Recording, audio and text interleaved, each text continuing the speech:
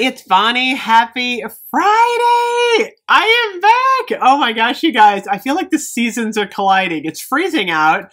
I've got Hawaiian Greg in the background. I am all decked out for Halloween, and I'm doing a first impression of the brand new, check it out, uh, Midnight Spell Candle for Bath and Body Works for Halloween. I'm digging these glasses too. It's like I love them when I put them on, and I'm like a thousand more times in love with these glasses. Thank you so much to uh, Lensmart. They sent me three pairs, and they're all perfect for filming. I got a whole filming set of glasses. Um, there is a link below. Uh, you get 25% off at Lensmart if you use the code GEEKS.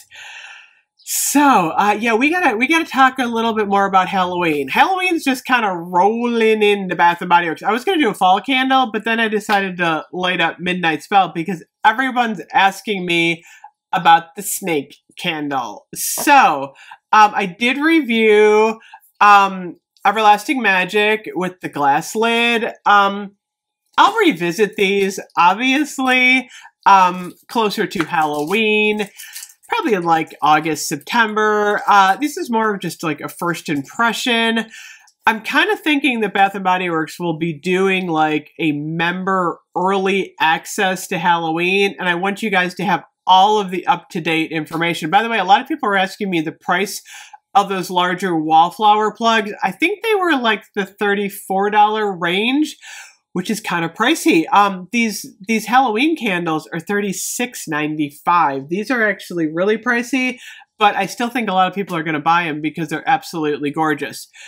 So, um, Midnight Spell is actually um, a dark purple wax. I'm just gonna, I got a little wax on my finger here. Look at this. It's like a dark royal purple. Um, get this, I got a Kleenex over here. Um, What's interesting is I thought this was black wax at first. It is not. It is like a beautiful royal purple. Um, the everlasting magic is like a royal red. So we've got the nice, like goth royal colors, like all interweaved um, through the season. And then I think this lid is probably one of the creepiest lids we've had.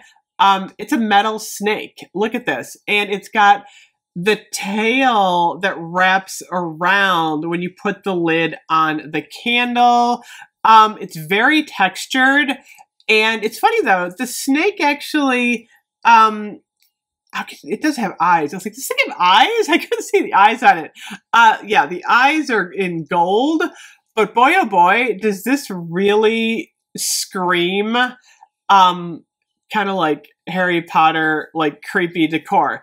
Uh, the lid on this one is like a hard uh, white plastic, and then there's a little bit like of a, you know, the edge that's supposed to secure um, the lid to the candle, kind of like on any lid, you have like that plastic rim. You just can't see it very well on this one, but it's there.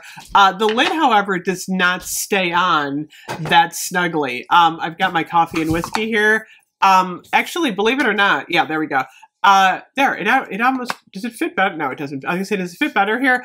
Um, this lid, believe it or not, almost looks like really cool, like on any candle. Like, I'm almost thinking that people might like interchange, uh, these lids on these candles. Like, look at how cool the snake looks on, um, Everlasting Magic. Like, you could totally, uh, swap these around and create like a neat, like, I don't know, different look. I mean, this this goes on a lot of stuff.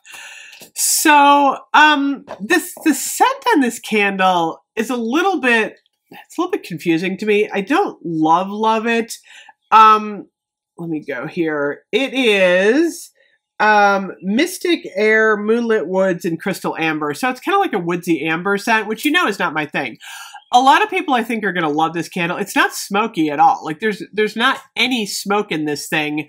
Um, it does have a strong amber note, and it does have um, almost like a fall woodsy note, but it's not smoky, and it it smells outdoorsy. But like I said, it's not like a burning. It's not a campfire. Um, it kind of has a little bit like of a cologne scent to me. Um, but it's beautiful. It's beautiful. I personally prefer uh, the berries in Everlasting Magic like a thousand times over. But I really like the aesthetic of um, the Midnight Spell. It's just, it's beautiful. I love the black. I love, you know, the little like picture frame kind of thing going on. Um, first impression, uh, this one's not like super strong to me. I would call it like a medium. I actually got a lot better throw off of Everlasting Magic with the berry. I thought this one might be strong just because of the scent notes, but it's not like super super strong. So um i love it. I gotta say i love it. I love the snake. I love the black. I love the whole concept. So it's still like a major winner to me. Um scent wise i just prefer the red one a little bit better. So i'll be revisiting these. We're gonna rank them. I'm gonna do some more uh reviews on all the candles. By the way, uh, check it out. I got I got this today uh, from Avon. Oh my goodness, I am feeling so 80s tonight. Like I would have totally gone out in this like whole outfit. Black tee, um, really sparkly chandelier necklace. the glasses, I'm digging this look. This is all 80s, all me. I'm so excited. This is like the, the culmination of my uh, my Elton John week. I love these glasses so much.